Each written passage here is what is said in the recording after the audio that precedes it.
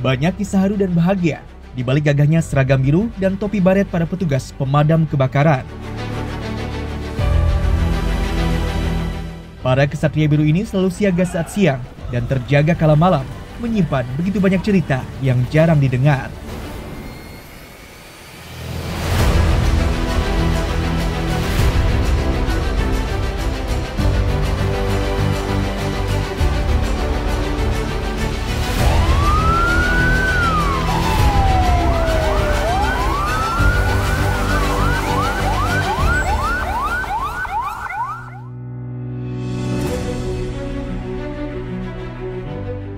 Nama saya Okta Triansah.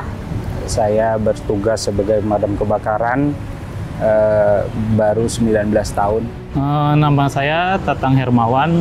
Ini udah lama bekerja itu sekitar 18 tahun. Uh, nama saya Erin Wijaya. Saya bekerja di Dinas Pemadam Kebakaran sudah kurang lebih 18 tahun.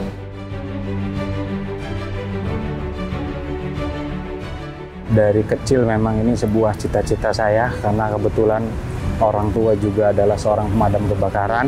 Nah, jadi pemadam kebakaran itu adalah tugas yang mulia menurut saya.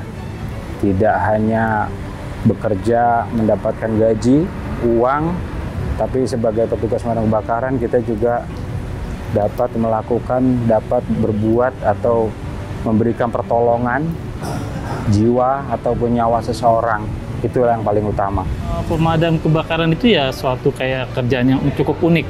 Uh, dikala orang menjauh dari bahaya kebakaran, sedangkan kita itu uh, malah menghadang kebakaran itu sendiri. Kalau sifatnya takut, semua orang pasti ada punya sifat takut. Karena udah apa ya, namanya panggilan jiwa, kita bertugas untuk menyelamatkan jiwa raga masyarakat. Itu ya udah tanggung jawab kita.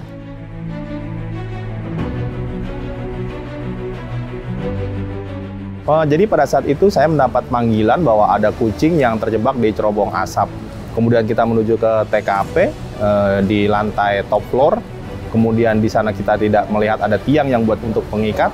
Eh, akhirnya tubuh saya untuk menjadi angkur atau tiang pengikat.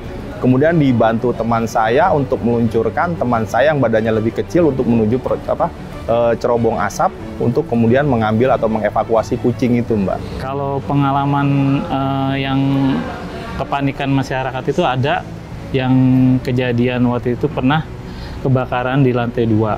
Nah, sedangkan ibu itu turun dari lantai dua dengan membawa guling yang dipeluknya itu. Kita tanya, e, ibu anaknya mana? Ini anak saya sambil menunjukkan guling itu. Ini anak saya loh katanya. Ini anak saya sampai bilang berapa kali. Terus kita bilang oh udah biarin aja dulu. Mungkin masih dalam kepanikan ibu itu sendiri.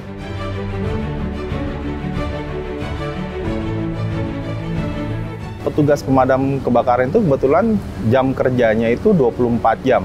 Di mana di saat 24 jam itu kita ada beberapa yang harus kita lakukan seperti apel pagi, pengecekan unit, terus ada olahraga, terus malamnya ada apel malam, terus dan tidak kalah pentingnya juga kita ada konsistensi jaga setiap dua jam sekali.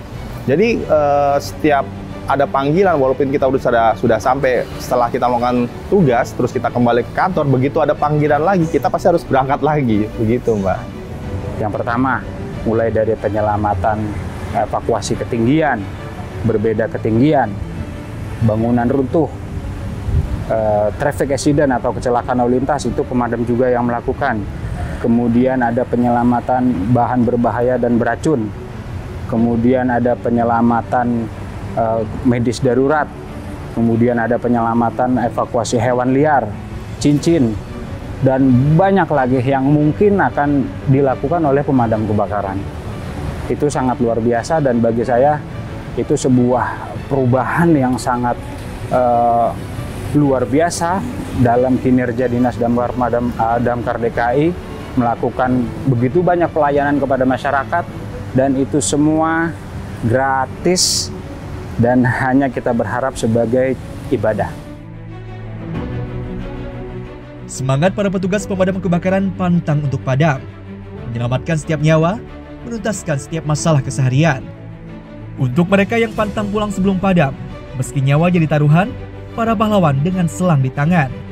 Kami sampaikan selamat Hari Pahlawan.